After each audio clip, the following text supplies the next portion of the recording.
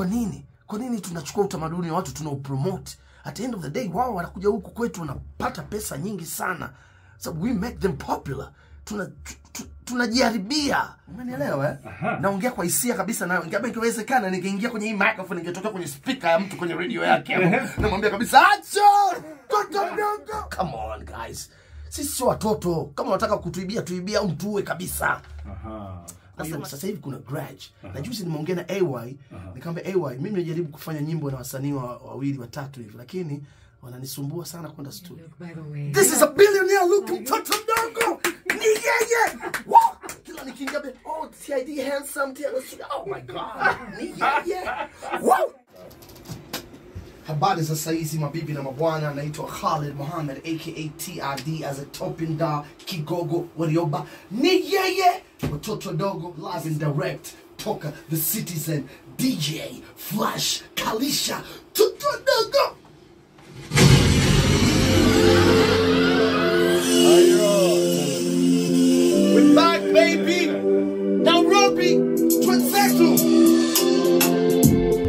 Usiyoyajua chini ya jua. We have a legend in the house. Mnyama. Nyama mwenyewe. Nyama. ni yeye! Watoto dogo ameshajua sasa behind the microphone ni nani? Eh, za sauti ya dhahabu. Sauti ya sauti ya kipenzi ya wakenya. Au vipi? sauti ambayo haichuji. Siku zote watu wanaikumbuka wanaipenda. So the very few voices like mine katika hiyo industry unajua sijisifii lakini nawaeleza ukweli. Nawaeleza. Sasa kujijua au vipi bwana? Unajua watu wengine wanasema tu tid is a, is a, is a singer i'm not a singer Mm. i am an entertainer nafanya vingi za entertainer. How was it when you guys began? Wakati ule mmeanza anza. Bongo Flava ndo kwanza inapikika. Unajua sasa hivi Bongo Flava ya sasa ukikompea na kitambo kuna tofauti mkubwa sana. Eh, kimaadili, kimuziki, kimisingi na mambo mengi tu yamechange. But how was it for you? Enzi hizo za zeze.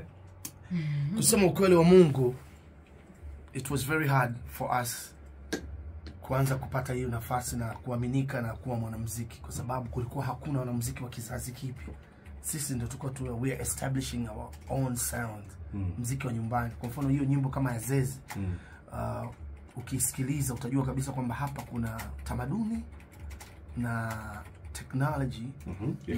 na, eh, na tumemodernize sound zetu kwa hiyo sisi tumepigana sana kutengeneza sound zetu tofauti na sasa hivi mm -hmm. vijana sasa hivi wanachukua saundi za watu wengine utamaduni wa watu wengine wanaweka kwenye hii miziki yetu at the end of the day tunapoteza touch ya mziki wetu tunakuwa tujui sisi tuni mziki wetu ni nini nakumbuka elfu mbili na tano uh -huh. nilikuwa sijui kama kuna mapiano kulikuwa kuna nigerian music kulikuwa kuna sound ya afrika mashariki uh -huh. unasikia kabisa huko miziki ya, ya afrika mashariki uh -huh. lakini sasa hivi utapigiwa mapiano kama ngoma kumi utajiuliza am I in south africa au niko afrika ya mashariki kwa nini? Kwa nini tunachukua utamaduni wa watu tunaupromote at the end of the day wao wanakuja huku kwetu wanapata pesa nyingi sana. So we make them popular. Tunajiharibia, tuna tuna kwa hiyo mimi vijana sasa hivi nawaasa nawaambia kabisa mnaiharibu sanaa yetu. Mnaharibu sanaa yetu kabisa. Tamaduni zetu tunazipeleka wapi? Mm. tuva. 20 years back. Aha. nini tatizo? Wanasema kwamba wanatafuta kutrendi, wanatafuta kuvuka mipaka, na wanakuwa na yote na time na way Eh, wanasema kwenda na time, kwenda na wakati. sasa nikupe nikupe siri moja. Ehe. wao ambao tunawageza wanaenda na time na sisi. Wanachukua miziki yetu wanaipiga. Wewe chief nimeingia south africa from the airport eh, to the taxi uh, kwa mall. Naenda kula. Nasikia tu nasikia mapiano all over. Mapiano mwanzo mwisho. Sijasikia hata mapiano moja ya kiafrika mashariki. Wanapiga za kwao. za kwao tu. Sisi hatujui kupiga mapiano. Why should yeah, Tunaiga. nani- tunaiga. Nani apige mziki watu wanaagiza Ona ama wanabii hao ni washamba wanataka kupiga mziki wetu. Wanataka kuingia kwenye maketi yetu. Hatuwezi kuwaruhusu. He? Akikuingiza kwenye maketi yake manake unachukua pesa.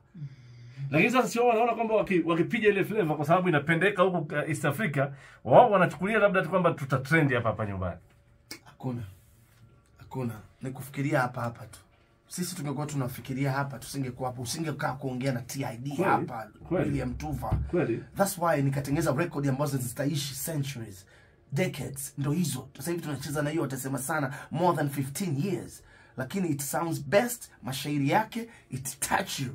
It's a feel it's a music It's a connection, it's a chemistry there. Lakini sasa hivi mtu anatoa mziki kama bubblegum, akishamaliza akitema, huwezi. Kutaka kuisikiliza tena. Mziki hauna maana. Aha. Umenielewa eh? Naongea kwa hisia kabisa na ingaba ingewezekana ningeingia kwenye hii microphone ningetokea kwenye speaker ya mtu kwenye radio yake. hapo. Namwambia kabisa acha! Toto mdogo. TID ameongea na anaongea kwa hisia. kama mwezi ukitoka wabishi watalala TID. Fanya na Nazizi. Well, uh, cha kwanza kiutulivu niseme uh, jinsi nimeutengeneza mm. sababu hiyo ilikuwa kama uh, 2003 Aha. 2004 hivyo Ah. na nilikuwa nimeitwa kwa apartment na preso akaniambia Nairobi? hiyo akaniambia tujiandae twende studio nikafanya kolabu ya wimbo wake ule leo ndio leo Eh. Basi it happened that nimefika studio nimempigia chorus pale nikaweka na verse. Wakati nataka kuondoka eh, nakumbuka ile ilikuwa uh, msiokaa pale. Eh, Homeboys production. Msiokaa kanambia by the way kuna kitu moja hapa unaweza ukaifanyia jambo. Ndo akapiga hiyo jam hiyo beat hiyo. Aisee I see hapo hapo akili yangu kama ikachanganyikiwa. I was like I want this. Akanambia eh toa pesa tu nikamwambia hamna shida. Nikamtia mkonjo wake. Tena kipindi hicho ilikuwa elfu thelathini ya Kenya. Oh, 30000 kurekodi. kuchukua hiyo na kurekodi na kila kitu. Yaani Ile mali yangu. Nikampa 30k same night nikaondoka na, na dude langu nikarudi kwenye apartment. Tena hapa niko Kilimani kipindi hicho mwezi mzima maeneo ya Woodmere apartment. Nimetulia naandika mzigo naandika mzigo naandika mzigo. Nimetuliza kichwa mashetani yote nimewafungia. I just want to speak with the God. Mimi mwenyewe tu wawili. Yeah. nafanya nini na hiyo beat? At the end of the day ndo nikadondoka na hiyo watasema sana. Kaenda studio nikarekodi nikamwita nazizi akaingiza verse. Alafu kama baada ya miezi sita mingapi tukafanya video dar es salaam kitu ambacho nakikumbuka zaidi ni kwamba huu wimbo kupitia kisima awards ulichukua awards mbili usiku huo. Wimbo huo huu? mbili wimbo huo. The best uh, collabo of the year na the best uh, music video.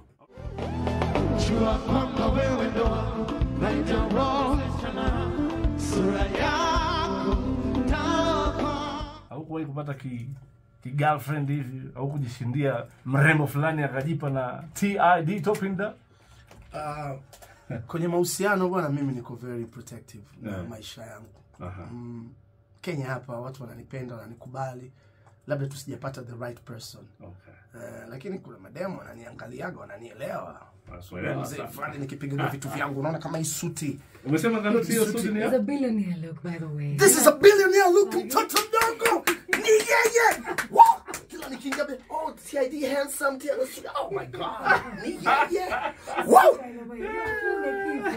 kucha za kung'aa pamba za kuvaa na mimi. Niwe na girlfriend nairobi girlfriend. Bye